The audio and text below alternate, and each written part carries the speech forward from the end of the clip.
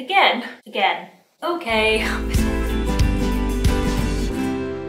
Hi everyone, welcome back to my channel. I hope you're all doing really well. My name is Hannah and I'm an author from the southeast of England. On this channel I make videos about writing, reading, researching, marketing, so if that sounds like something that is your cup of tea, please do consider subscribing. Before we get started, um, I just wanted to remind everyone in my description, um, I've left some links to open UK and US petitions for the BLM movement, so please do take a look at those. Again, if you're not in a position where you can financially help or donate to any causes at the minute, I'll also leave a link to Zoe Amira's video, so you can just leave that uh, running, just watch it and watch all the adverts and then the AdSense is going to various BLM charities. Okay, this one has been a long time coming. I have started my WIP one road in again.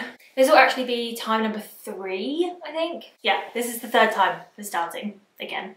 But in all honesty, this time I feel really good about it. I feel like the changes I've made were the right ones and I feel refreshed and energised and I, I think this is the right move. So I started the first first, the first first draft of One Road In um, at the beginning of NaNoWriMo last year.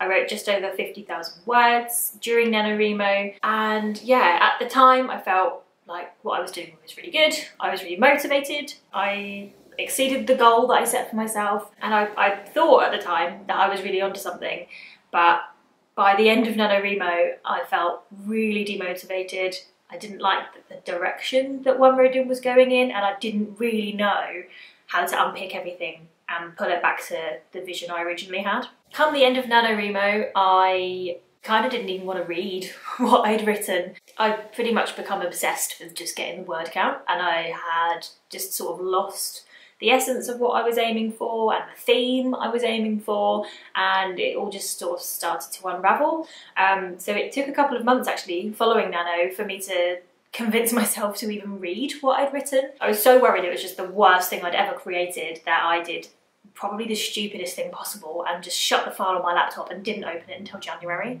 So in January I read through what I'd done. The first half was okay, but it felt like it was lacking something and not lacking something that you can kind of add in in editing. It, it really felt like it was lacking something really major.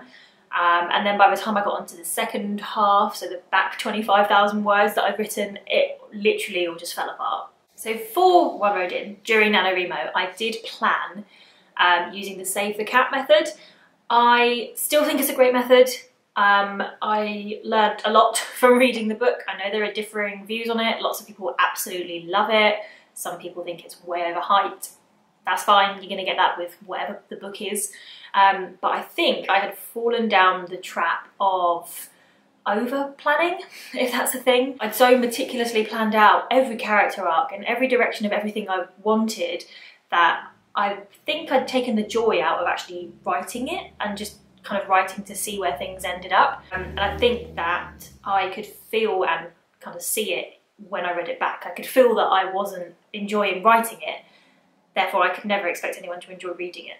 So at the end of January, after I had convinced myself to actually read it and scrawled over the thing with so much red pen that you couldn't really see the original words anymore, I decided to start again. This is starting again number one. This one was a bit of a false start, to be honest. I started again and then within a week I was just bored of it. I didn't like the idea anymore, I couldn't get back to the original excitement of the idea, so I shelved it again.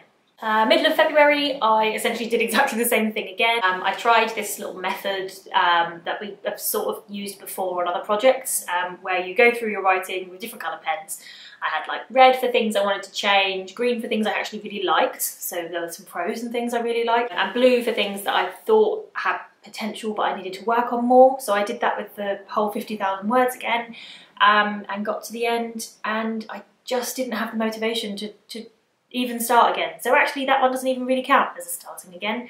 I tried to start again. I kind of admitted that I'd lost the kind of excitement for the project uh, and ended up writing a couple of short stories instead. So cue the middle of May, I think. I had a bit of an idea. So I was thinking about One Road In again. and I was thinking how the original concept, it just, it, it is really something that when I first thought of it, I was like, that is a book I want to read and it doesn't exist, therefore I should write it. For anyone that hasn't seen the original videos I made when I came up with the idea, essentially a girl's brother goes missing. She knows a lot more about him going missing than she lets on.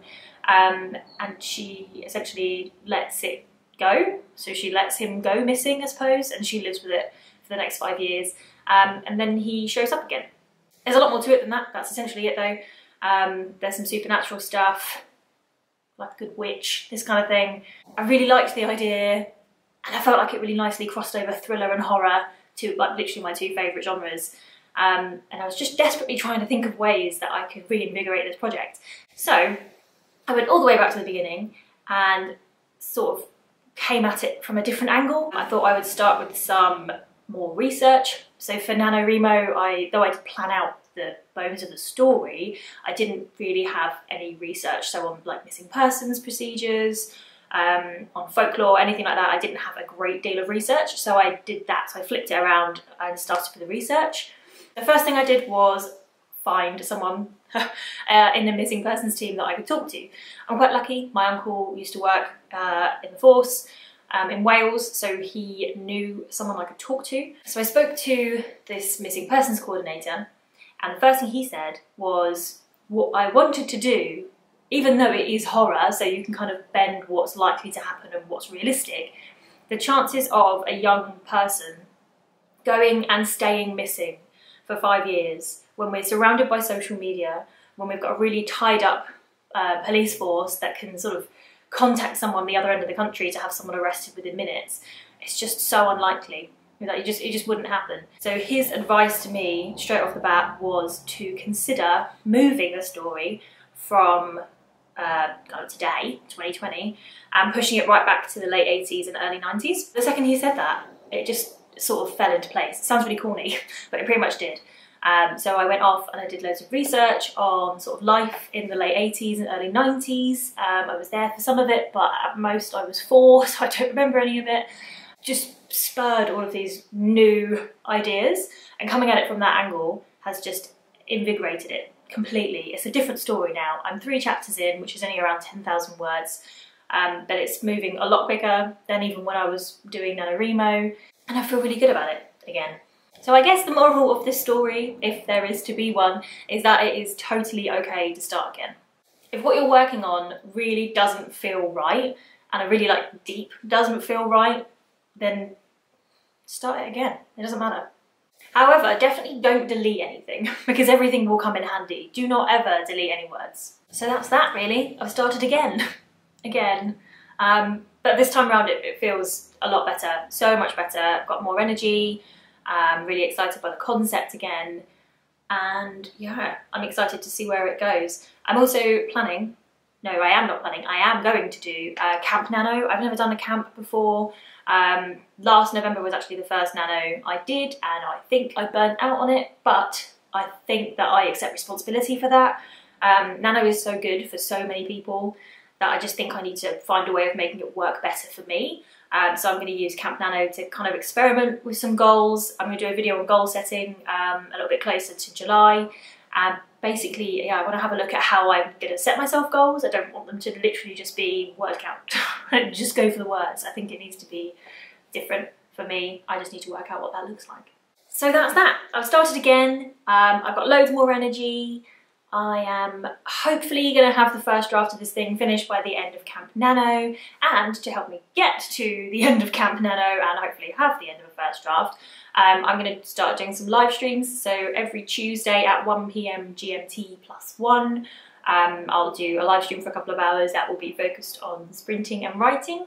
Um, so yeah, I hope to see some of you guys there. Thanks for watching this video. I really hope you enjoyed it. If you did enjoy it, please do like it and consider subscribing to my channel. Thanks. See you next week.